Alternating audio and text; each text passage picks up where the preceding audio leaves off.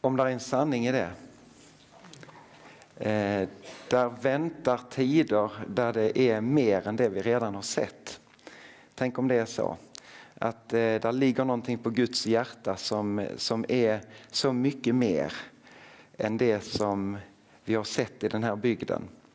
Den här bygden eh, var drabbad, kan man väl säga, av en väckelse i början på 1900-talet som, eh, som gjorde liksom genomslag i byarna runt omkring. Och det byggdes missionshus och människor kom till tro. Man berättade, man kan läsa om hur unga människor gick genom Strövelstorp för möte i Varalöv gråtandes av frälsningslycka och syndanöd.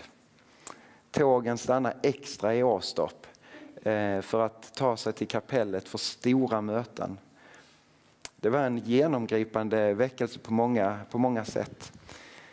Men tänk om det ändå trots det är nya tider längre fram som kanske rymmer ännu mer. Det vill jag be om och det vill jag önska och det vill jag tro för att jag också vill lita på Guds ord som talar om en tid innan Jesu återkomst som kommer att vara kanske väldigt kort och intensiv, det vet jag inte någonting om. Eh, men där väldigt många människor kommer till att komma till tro. Och grejen är att jag tror att vi är inne i den perioden. Jesu återkomst när, det lämnar jag helt åt Fadern att ha insikt om. Eh, det behöver vi inte kanske fundera så mycket kring. Men vi lever faktiskt i en tid där väldigt, väldigt många människor kommer till tro idag runt om på vår jord. Men tänk om det också skulle drabba vår bygd. Tänk om det också skulle drabba Ängelholm med omnejd. Eller var du nu än befinner dig, du som är med oss via efskyrkan.tv. Skriv den här predikan in ditt sammanhang, din stad eller by eller ditt hem. Och också för oss här, där du lever, där du bor och, och det som kommer att visa sig på kartan sen. Eh, eller är vi nöjda? Tänker vi att ja, men nu så är det, det är rätt så bra. Den kan ju infinna sig den känslan. Men jag tror att det ligger så mycket mer på Guds hjärta än det som vi redan har sett. För Gud är av så mycket kärlek eh, till den här världen. Där eh, Gud har kommit genom, skulle jag säga, alla tider med hälsningar till, till eh, människor, till hans folk och till det som vi idag kallar församlingen eller kyrkan. Hälsningar med uppmuntran, hälsningar med, med kallelse att leva ut kärleken, att leva ut budskapet om honom. Eh, och där det kanske också är en hälsning till oss idag. De hälsningarna kommer från himlen. Alltså då ska vi tänka det är Gud som har skapat himmel och jord. Som vi hörde söndagsskolan skulle påminna sig om. Eh, människorna i förhållande till så många, så många stjärnor det finns på himlen. Då börjar vi fundera på universums storhet. En, en annan predikan men, men ändå, det är den guden vi har att göra med.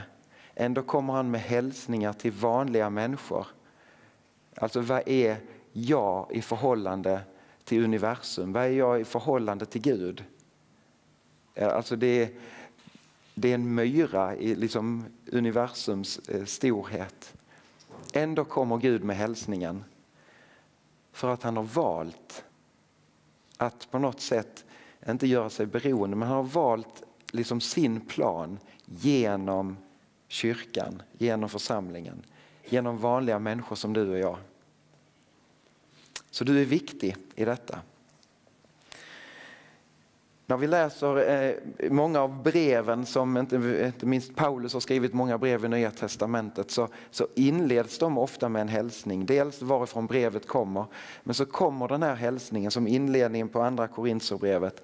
Jag hälsar till Guds församling i Korint.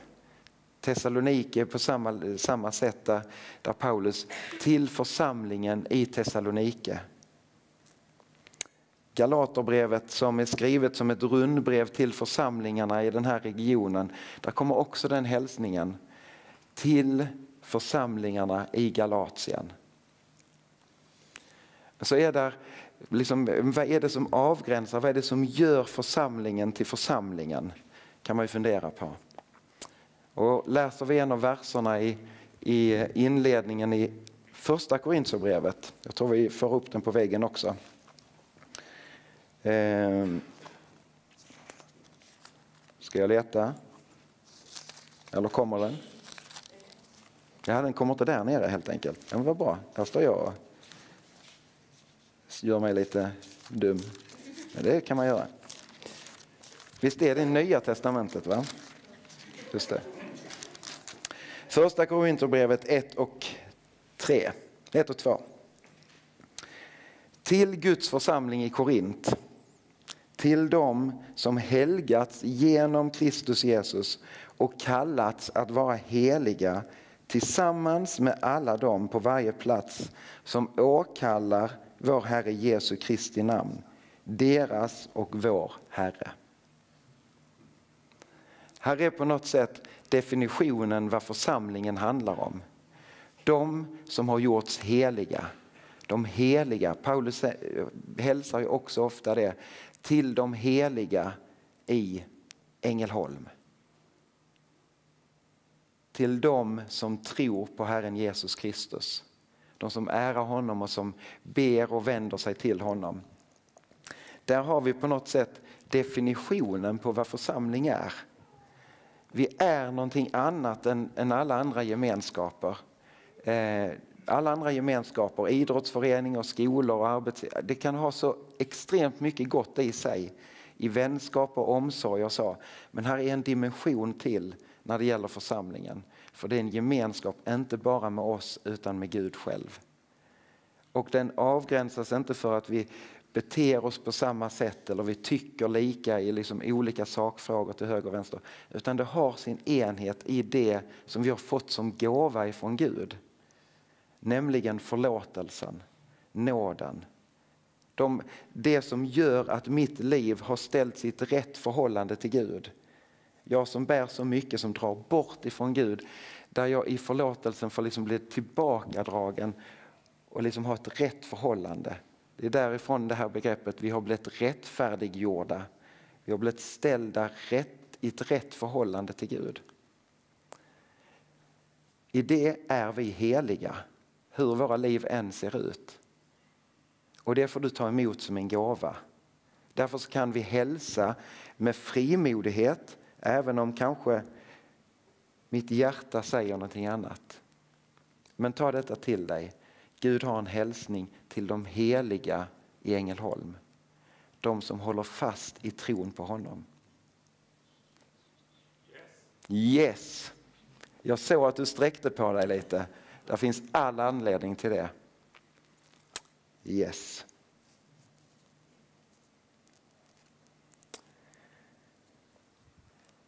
Men vem är den här Jesus som vi tror på?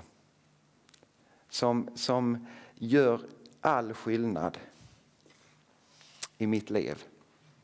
Vem är denna underbara Jesus? Jag kan inte låta bli att vi, vi får öva vår engelska idag lite grann. Eh, där finns en, en, jag kommer inte ihåg vad den här pastorn heter, men han, eh, han försöker beskriva Jesus. Eh, och han, han går igång på alla cylindrarna känns det som. Eh, vi har den på ett klipp, kan vi inte bara få se på den?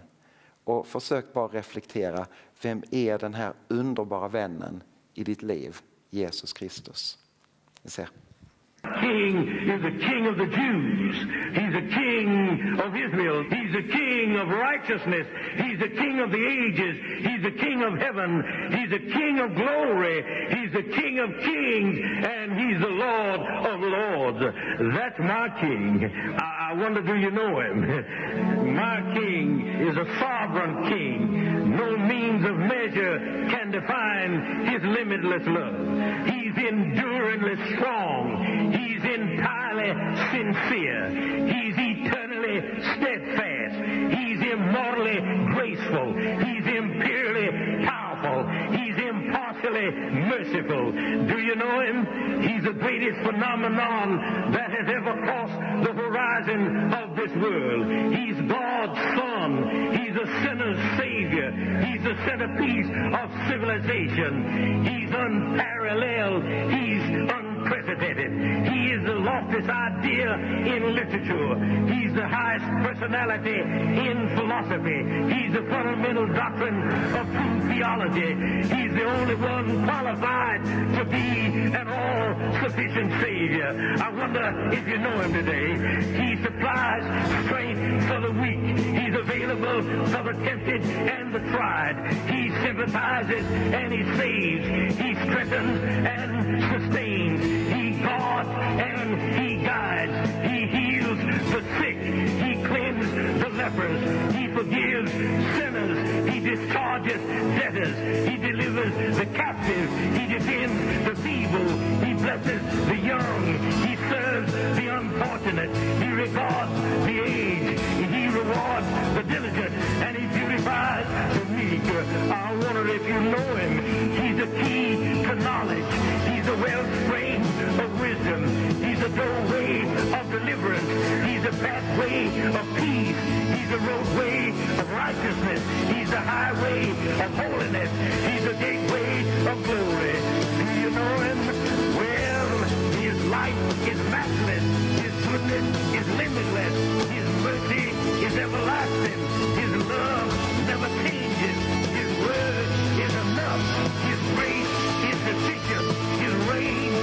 And the yoke is easy. And his burden is light. I wish I could describe him to you. He's indescribable. He's incomprehensible.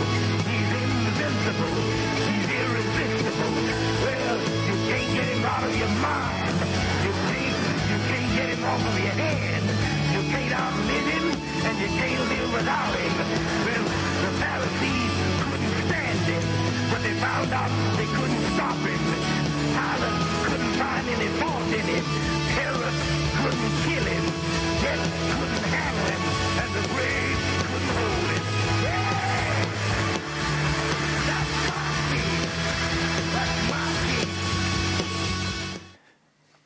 Finns det så många ord på engelska. Det är helt fantastiskt. Eh, när han bara har liksom försökt måla bilden så bara, och jag önskar jag kunde beskriva honom för er. Känner du honom? Jag vill bara få slå upp Hebreerbrevet 1 och 3. Och låt oss läsa det tillsammans och låt det också få på något sätt, det är en fullödig beskrivning på något sätt av vem Jesus är. Och han som är utstrålningen av Guds härlighet och en avbild av hans väsen och som bär upp allt med kraften i sitt ord har renat oss från synden och sitter på majestätets högra sida i höjden. Det är Jesus. Do you know him? wow. Han som återspeglar Gud med den tydligheten. Han är utstrålningen av Guds härlighet och en avbild av hans väsen. Eh, och jag kommer att tänka på, bara precis nu när vi satt och bad här i, i morse, en bild som jag har använt många gånger när man försökt beskriva Gud med en enkel bild av, eh, för konfirmander inte minst. Och där jag har tagit bilden av, av en sol och det är inte så konstigt för att Gud jämför sig med solen i Uppenbarelseboken till exempel. Att I himlen så i evigheten så kommer vi inte solen behöva lysa för då ska Gud själv lysa upp vår tillvaro. Så att det liksom beskrivs Gud som det fullständiga ljuset. Men låt oss bara tänka solen. Det är väldigt svårt att se rakt in i solen. Men vi kan ändå på något sätt se konsekvensen av solens utstrålning. Och för Fadern för liksom sol, solklotet, eller planeten solen, om det får stå som bilden för Fadern, så får solstrålarna stå som bilden för Jesus som blir utsänd från Fadern så att vi kan se den, vi kan se ljuset. Och Det som är så härligt med den här bilden och det är precis samma med Jesus. Det kan vara moln som idag, nu så sticker solen på precis. Men även om molnen är där så är det inte så att det bryter ljuset utan ljuset slår igenom fastän vi inte ser solen. Det är inte så att det blir totalt mörkt. Ljuset vinner alltid och bryter igenom. Sen så kan vi känna värmen. Och det blir på något sätt bilden av den heliga ande. Hur solen får liksom slå emot och så kan vi uppleva värmen. Och I den här bilden så kommer vi till hälsningen, tror jag, till de heliga i Ängelholm. De som håller fast i tron på Jesus Kristus. Att vi ska få återspegla den värmen och det ljuset. När vi inledde den här temaserien så stannade vi upp inför Paulus förbön för församlingen. Om vi bara får plocka fram två av de verserna som vi läste då ifrån Efesierbrevet. Han som verkar i oss med sin kraft och förmår göra, mer långt, långt, göra långt mer än vi kan begära eller tänka. Hans är härligheten genom kyrkan och genom Jesus, Kristus Jesus i alla släktled i evigheters evighet. Om Jesus han är återspeglingen av härligheten. Det stod ju så. Han är återspeglingen av härligheten så ligger det som en hälsning in till Guds församling att återspegla den här härligheten ut i världen. Genom kyrkan och genom Kristus Jesus, genom alla släktled. Också 2015 i Ängelholm.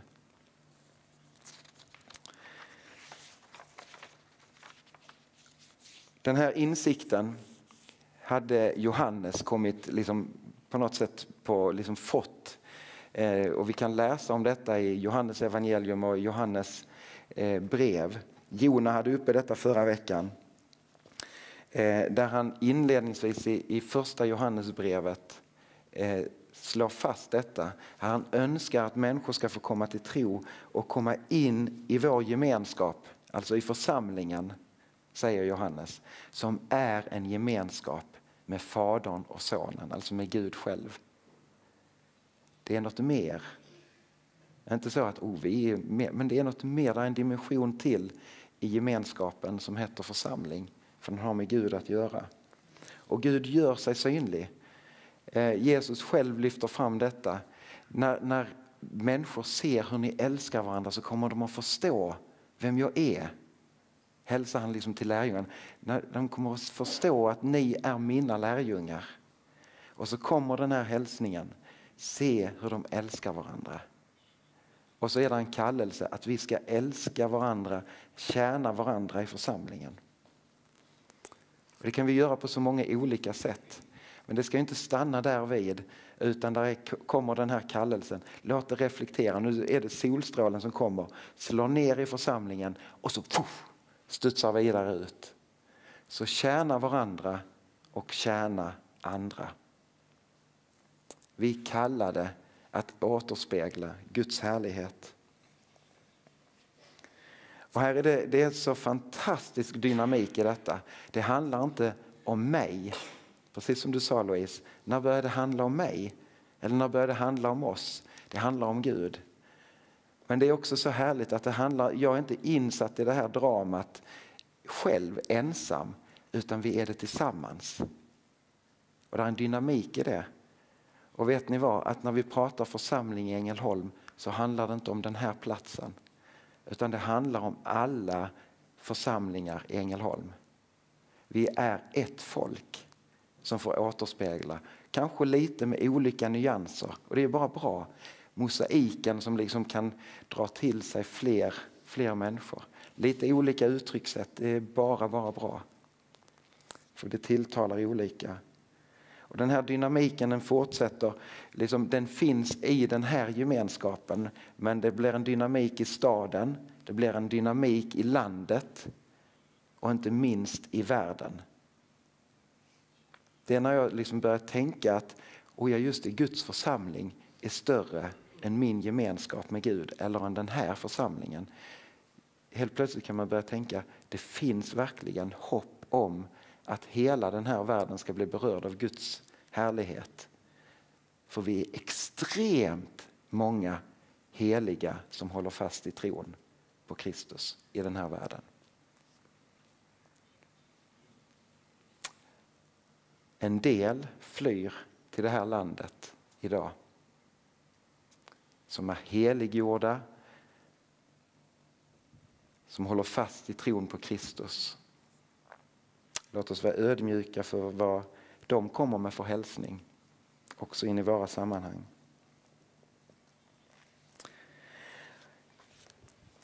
Här hade jag tänkt att vi skulle göra en övning men, men jag bara nämner den för att tiden springer. Ja, den springer inte, den går precis lika fort hela tiden. Eh, men ändå. Eh, tänk in dig i ditt sammanhang. Återigen så blir det kopplat till den här tavlan. Var bor jag? Var har jag min vardag? Jag vill vara så mycket lutheran i detta och säga att, att eh, jag vet inte hur Luther han sa, men, men du som är skomakare, det finns inte så många skomakare idag, du, du ska vara en helig skomakare. Eh, var du än jobbar eller har din liksom, vardag, eh, Eh, om det är i ditt hem, i väntan på jobb eller efter jobb, om det är på en arbetsplats, så ska du veta att där får du återspegla Guds härlighet. Så läs in din vardag. Eh, liksom någonstans så tänkte jag, men och alla ni som jobbar i vården, ställ er upp och så får vi bara be för er. För ni möter människor, eller ni som jobbar i skolan. Och, men så tänkte jag, var gör man avgränsningen? För att någonstans så finns vi alla i sammanhang där vi möter människor. Inte bara i den offentliga sektorn, men men det är väldigt mycket där.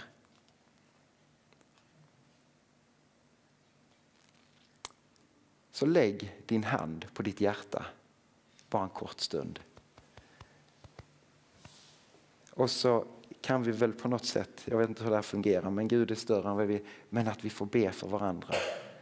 Jag kan få leda en kort bön. Tänk in din vardag, men tänk också in grannens vardag och be, även om du inte vet hur den ser ut.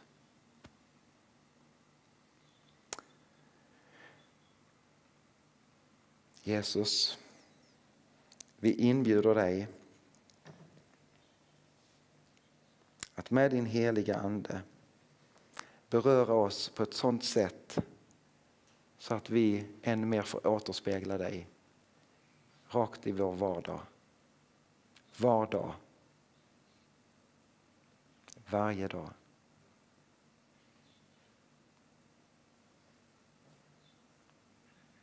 Tack för att vi är kallade att stå i helig tjänst vad vi än sysslar med. I Jesu namn. Amen.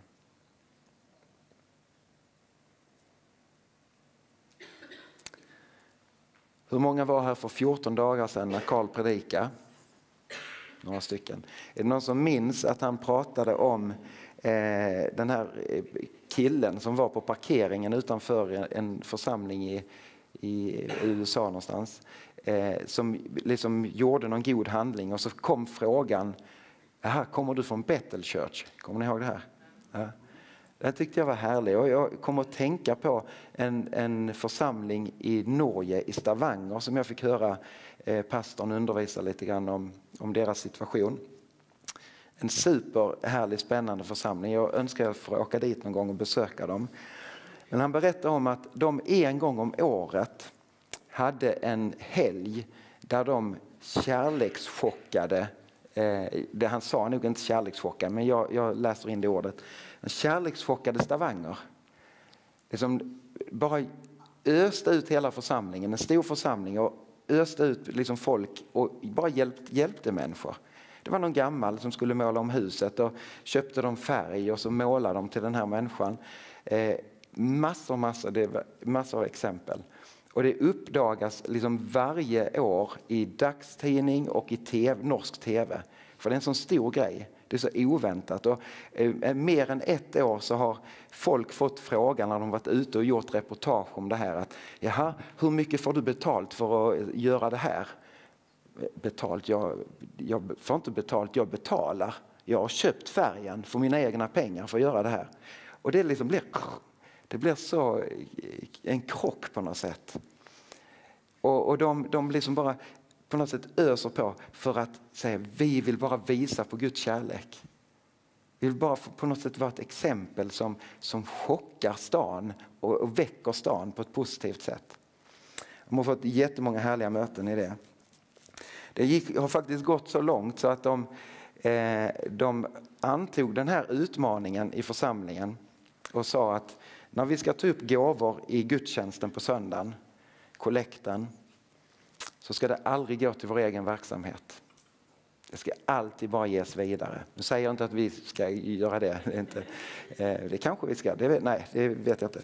De sa det, det här med vår liksom, omkostnad, det fixar vi någon annanstans. Med ett månadsgivande eller, eller liksom löftesoffer på andra sätt. När vi firar gudstjänst så samlar vi bara upp kärleksgåvor. Allt skickas vidare. Det kan vara ett projekt i utlandet, det kan vara till den lokala fotbollsföreningen. Han berättar när de, när de samlade in en söndag för att gå till den muslimska församlingen och ge en gåva för att rusta upp deras barn och ungdomsverksamhet och en lekplats på, på området. Så hur ska de någonsin, hur ska vi kunna bryta med de här fördomarna om att vi står liksom i krock? Hur ska de kunna lära Jesus? Vi måste ju visa på hans kärlek. Och det blev ett jätteståhej när de gick till imamen med en stor tårta och en stor kass, eh, check från banken. Här, det här vill vi bara ge. Eh, det var någonting av Guds kärlek som small vidare. Tänk om det skulle vara så i Ängelholm att eh, oavsett om det är vi eller någon annan som liksom gör en god handling. Tänk om vi går ner på stan om några år och så ser vi någon som, som eh, hjälper någon förlåt äldre dam över gatan. Varför ser man alltid en äldre? Det kan vara en halt gammal, jag var ju lite halt sa du innan här, lite börjar komma där. Jag behöver snart hjälp över gatan. Men tänk om någon liksom, man ser, ser en sån här god, lite god handling och så kommer frågan, du kommer du från EFS-kyrkan? Nej, det gör jag inte. Vadå? Nej, jag bara tänkte, för att det bara ligger på något sätt i pulsen av att, eller det behöver inte vara EFS-kyrkan, men någon av församlingarna i Ängelholm för det ligger bara i att, att det har vant sig vid att vi gör goda handlingar. Tänk om vi skulle kärlekschocka den här staden på något sätt.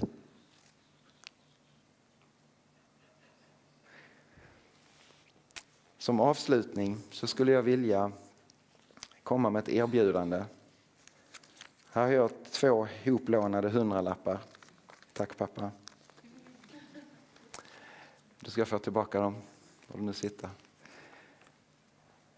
Är det någon som vill ha en hundralapp? Mm? Mm? Ja, men ja, hur ska du annars få den? Men där är ett förbehåll. Är det någon som vill ha den andra? Ni måste vara på gudstjänst här nästa söndag. Detta är inte ett sätt att köpa hit folk, men... Kom, är, är, du här nästa söndag? Eh, vad är det för datum? Ja. Ja, bra. Är det någon annan som vill? Du kan stanna här bara lite.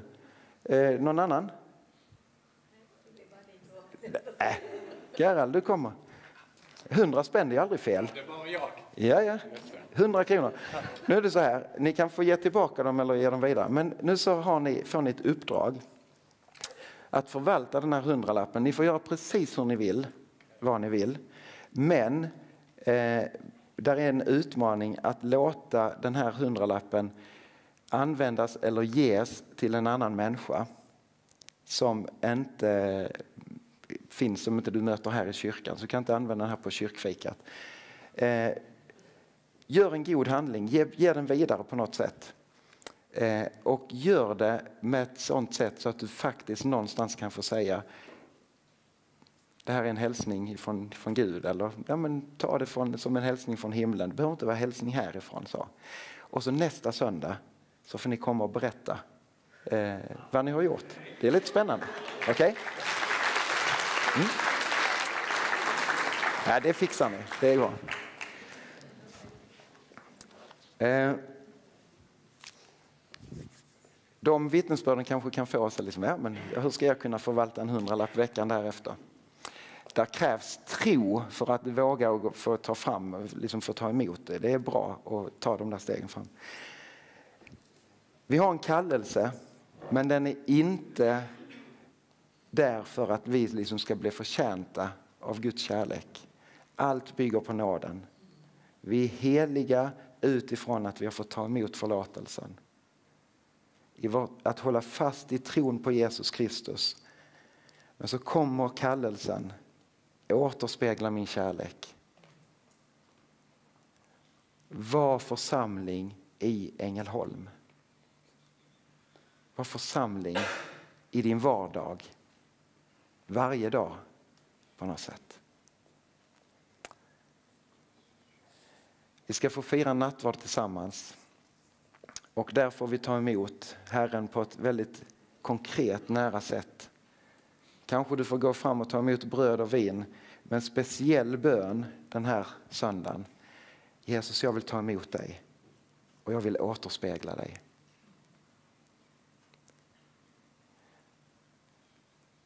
Och inför det så ska vi få be och bekänna och lägga ner och påminna oss igen om att vi får vara heliga i förhållande till Gud.